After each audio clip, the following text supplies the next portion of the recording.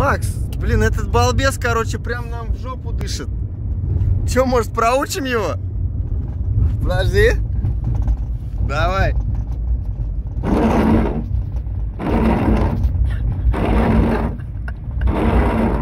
Давай, давай. Он уклоняется, бей точнее.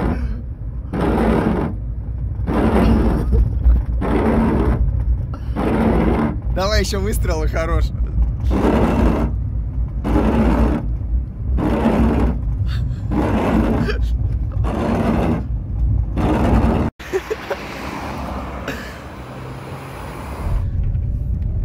Азат, моргни ему что ли, че он как пенсионер еле едет? Эй, бля, эй! Че он творит? Эй, эй! Ты чё? Блядь! Давай ответь ему. На ты, сука! У тебя не добивает. У тебя как раз машина между два. Бля, ее ветром сдувает. Все, ладно, хорош, бля. тормози. Мы, по-моему, мокрые все.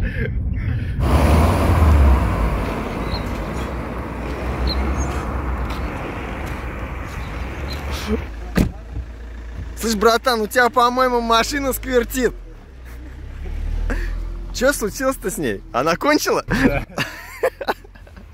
Так, а если серьезно, то форсунка встроена в ось стеклоомывателя. И, как мне сказали, в магазине очень часто их покупают. Вот тонким шурупом удалось выкрутить ее. Вкручиваем и выдергиваем. Дальше, для тех, кто думает, что все дорого. Вот новая форсунка GP Group 300. И вот этот колпачок еще 190 в экзисте. Ну, у нас есть подозрение, что все-таки, конечно, его свистнули. Кто-то, у кого сломалось, просто пошел и свистнул. Так, новую форсунку ставим в отверстие. Она имеет такие типа шлицов для фиксации. И регулируем и накрываем колпачком.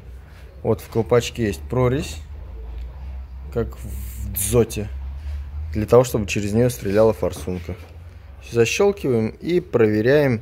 И уже здесь по месту потом вот так регулируем куда надо. Так смешно начавшийся ролик все печальнее и печальнее становился. Во-первых, вот эта штучка, она не подошла. Пока вот дзот сделали такой на изоленте. Ну так, хоть как-то. Не выкидывать же ее. Но это еще полбеды. Во время съемок у нас потекло все это. В ногах у, у водителя целое болото образовалось. Бассейн. Пошли мы искать место течи. Оказывается, как было написано в Drive 2 одним пользователем, будь проклят тот инженер, который это придумал. Вот моторчик реверсионного типа или реверсивного, как сказал наш электрик. В одну сторону он крутит на передние омыватели, в другую сторону на задние. Вот видно, что шланги такие вот, как бы, как гофра для проводов, как будто бы проблемные. Вот этот шланг пошел куда-то, оба они пошли. Пол машины мы разобрали, вот здесь под жабу они раздваиваются. Один идет и раздваивается дальше на форсунке, а другой уходит туда, под панель приборов.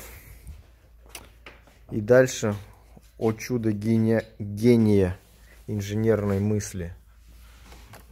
Смотрите. Этот гений додумался засунуть, вот сейчас разобрано, он додумался засунуть вот этот шланг омывателя в центр жгута проводов. Каково было наше удивление, когда у нас вода потекла со жгута проводов. Вот видно, что он изгибается, он перегибается. Вот этот, он, соответственно, переламывается. Вон видно, что пол машины уже давно текло в синие высохшие незамерзайки. Все это хозяйство потекло вот на блок. Я не могу сказать, что это блок управления ничего. Вот какой-то черный ящик, короче, электрика. Электрика и незамерзайка созданы друг для друга. Шланг потек в недрах, получается, под панелью вон там. Пытались и так, и сяк. И вот отсюда добраться. Здесь нету доступа. Там вот как раз брус, который укрепляет панель. И панельку вот эту приборов снимали. Там тоже толком доступа нету. Короче, шланг омывателя заднего стекла проходит по такой очень сложной трассе. Это чудо, мы нашли разорванный участок, обрезали его и вот получается он там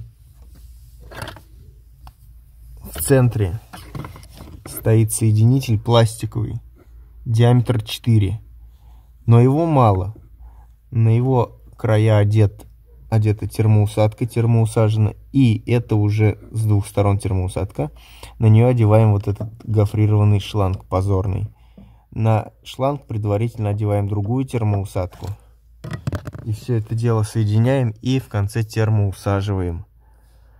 Вот только таким способом удалось хоть как-то избежать течи воды, избежать вот этого короткого замыкания и выхода из строя всей электропроводки.